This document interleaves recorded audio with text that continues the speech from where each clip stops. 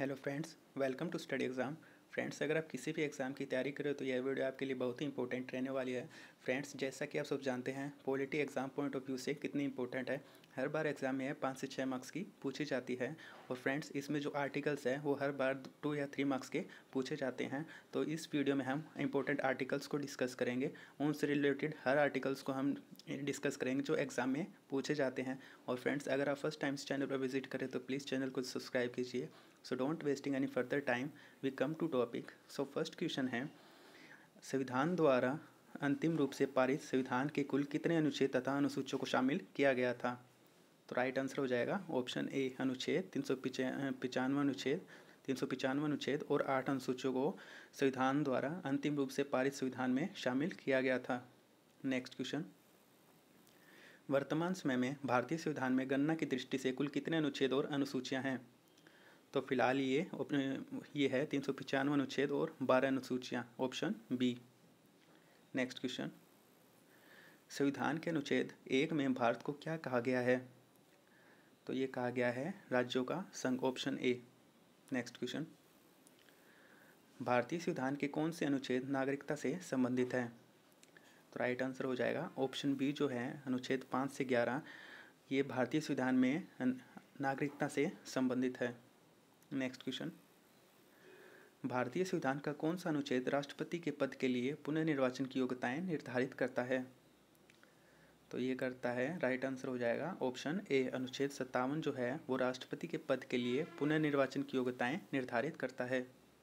Next question भारतीय संविधान के किस अनुच्छेद में प्रेस की स्वतंत्रता दी गई है?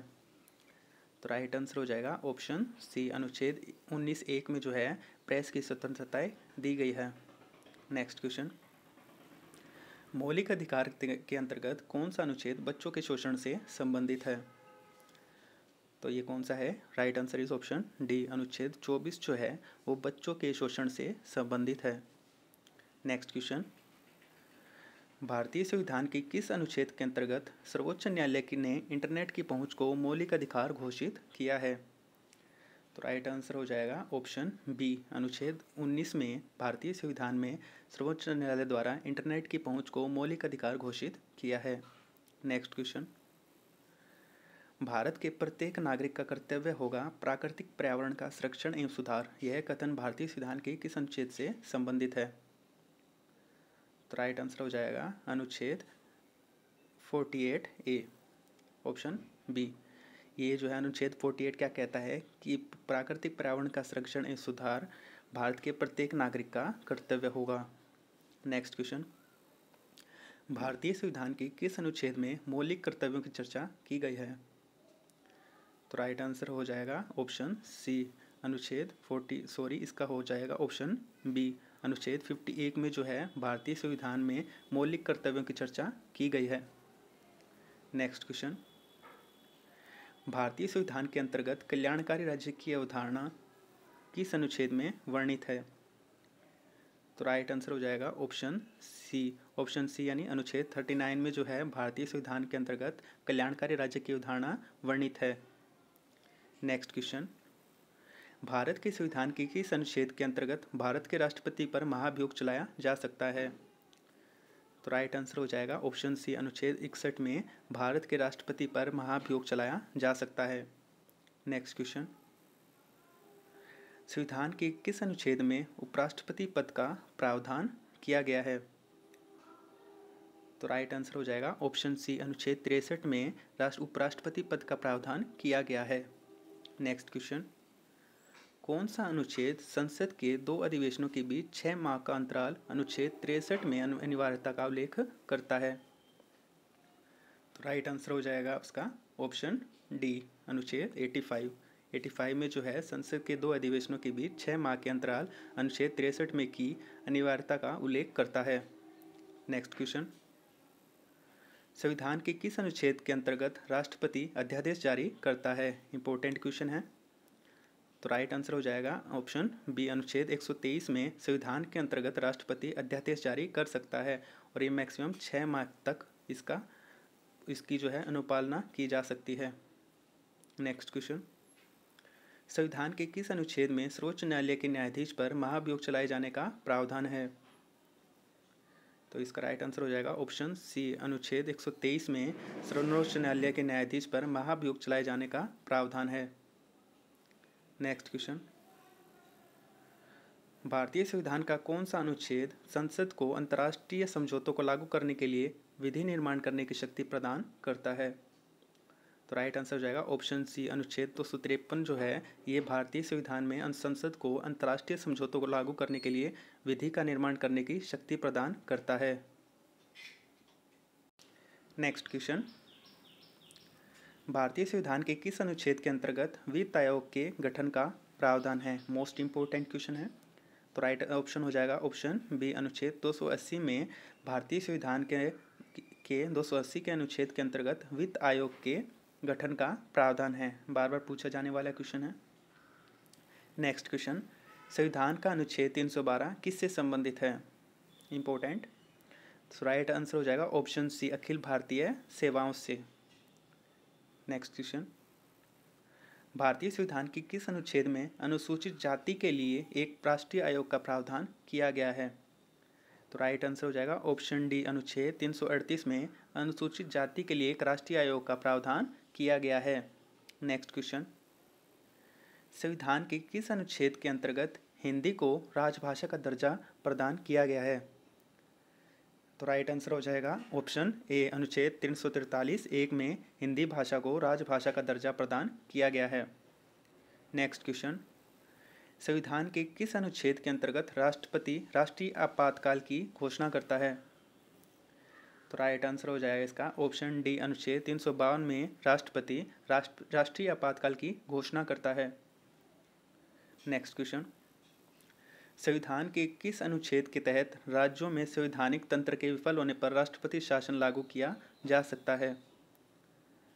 तो राइट आंसर हो जाएगा इसका अपना ऑप्शन बी अनुच्छेद तीन सौ छप्पन में राज्यों में संवैधानिक तंत्र के विफल होने पर राष्ट्रपति शासन लागू किया जा सकता है। और ये सबसे पहले कौन से स्टेट में लागू हुआ था? पंजाब में। नेक्स्ट क्वेश्चन संविधान के किस अनुच्छेद के आधार पर वित्तीय आपातकाल की घोषणा राष्ट्रपति करता है?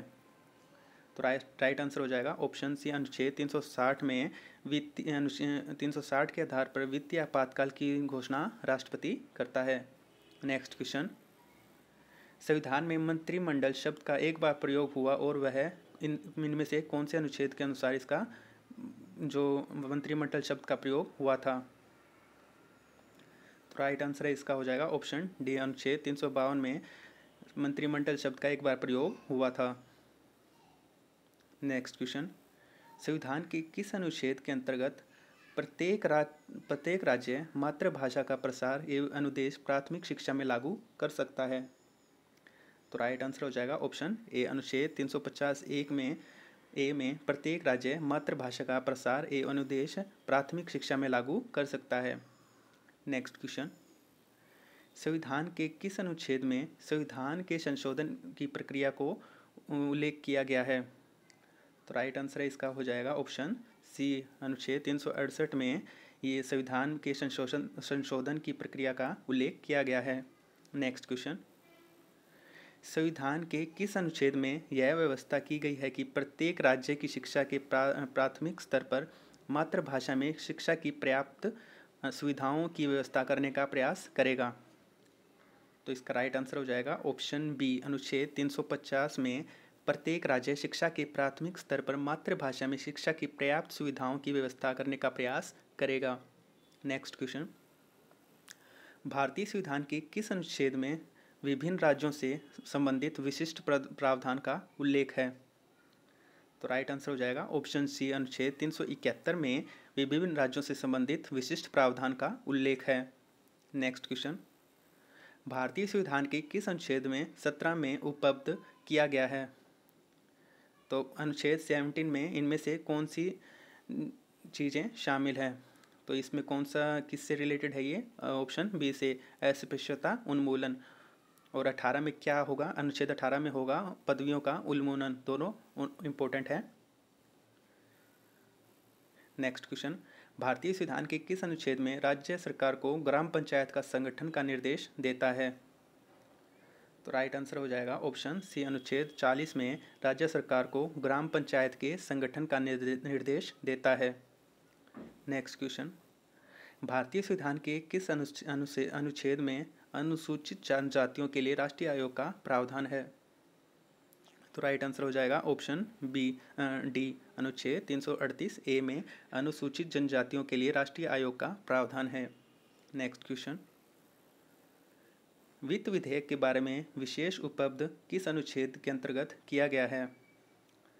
तो राइट आंसर हो जाएगा ऑप्शन सी अनुच्छेद 117 में वित्त विधेयक के बारे में उपलब्ध किया गया है। नेक्स्ट क्वेश्चन संविधान के किस अनुच्छेद के अंतर्गत लोक सेवा आयोग के सदस्य को हटाया जा सकता है?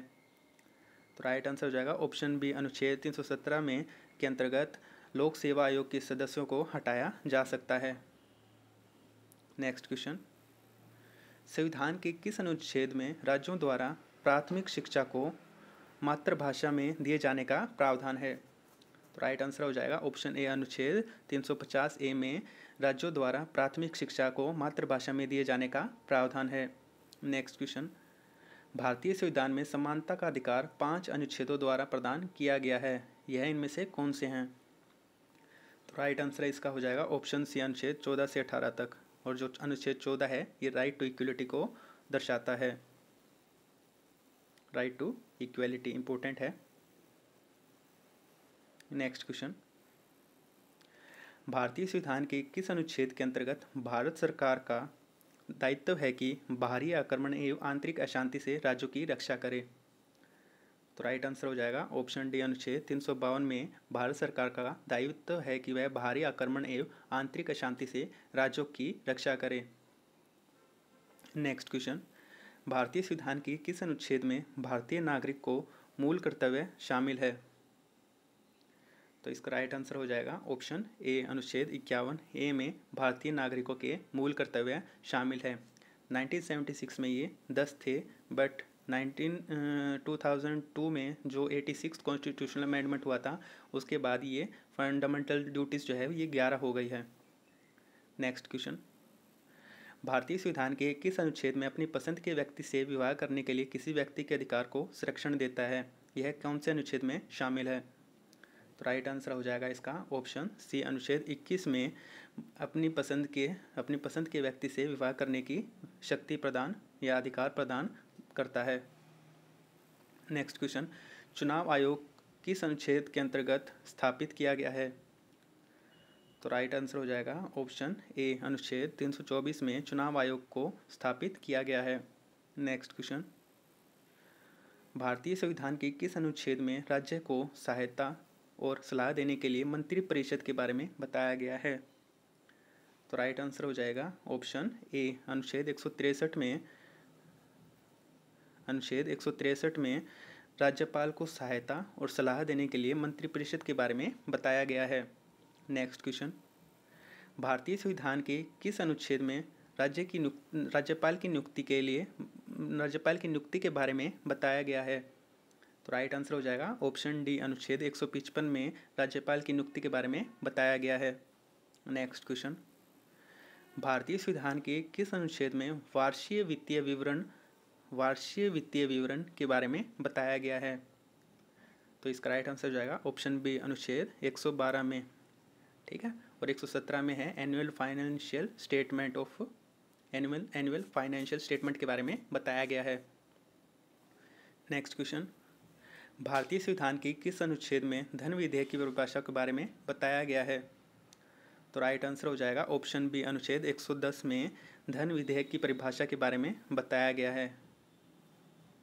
नेक्स्ट क्वेश्चन भारतीय संविधान के किस अनुच्छेद में कुछ रिट निकालने की उच्च न्यायालय की शक्ति के बारे में बताया गया है? तो ये इसका राइट आंसर हो जाएगा ऑप्शन बी अनुच्छेद 226 में उच्च न्यायालय की शक्ति के बारे में बताया गया है। रिट निकालने के लिए और जो ये सुप्रीम कोर्ट के लिए है, ये अनुच्छेद 26 में नेक्स्ट क्वेश्चन सॉरी ये जो सुप्रीम कोर्ट के लिए जो रेट निकालने की शक्ति का प्रावधान, ये है आर्टिकल थर्टी टू में और जो उच्च न्यायालय के लिए है, ये दो सौ छब्बीस में नेक्स्ट क्वेश्चन भारतीय संविधान के किस अनुच्छेद में नए राज्यों का निर्माण और वर्तमान राज्यों के क्षेत्रों, सीमाओं या नामों से परिवर्तन के बारे में बताया गया है। तो इसका राइट आंसर हो जाएगा अपना ऑप्शन सी अनुच्छेद तीन में राज्यों का निर्माण और वर्तमान राज्यों के क्षेत्रों, सीमाओं या नामों में परिवर्तन के बारे में बताया गया है। नेक्स्ट क्वेश्चन भारतीय संविधान के किस अनुच्छेद में विधि के समक्ष समता के बारे में बताया गया है? तो राइट आंसर हो जाएगा ऑप्शन डी अनुच्छेद चौदह में विधि के समक्ष समता के बारे में बताया गया है। नेक्स्ट क्वेश्चन भारतीय संविधान के किस अनुच्छेद में अनु उच्चतम न्यायालय से परामर्श करने के लिए राष्ट्रपति की शक्ति के बारे में बताया गया है? तो मोस्ट इंपॉर्टेंट क्वेश्चन है। इसका राइट आंसर हो जाएगा ऑप्शन ए अनुच्छेद एक में उच्चतम न्यायालय से परामर्श करने की राष्ट्रपति की शक्ति के बारे में बताया गया है। बार बार आने वाला क्वेश्चन है। नेक्स्ट क्वेश्चन भारतीय संविधान के किस अनुच्छेद में ग्राम पंचायतों के संगठन हेतु के निर्देश के बारे में बताया गया है? बार बार पूछा जाने वाला क्वेश्चन है तो राइट आंसर हो जाएगा इसका ऑप्शन बी अनुच्छेद चालीस में ग्राम पंचायतों के संगठन हेतु के निर्देश के बारे में बताया गया है। नेक्स्ट क्वेश्चन भारतीय संविधान के किस अनुच्छेद में बताया गया है कि उपराष्ट्रपति राज्यसभा का पदेन सभापति होगा? तो राइट आंसर हो जाएगा। अनुच्छेद चौंसठ में बताया गया है कि उपराष्ट्रपति राज्यसभा का पदेन सभापति होगा। तो फ्रेंड्स यहाँ पे अपनी वीडियो कंप्लीट होती है।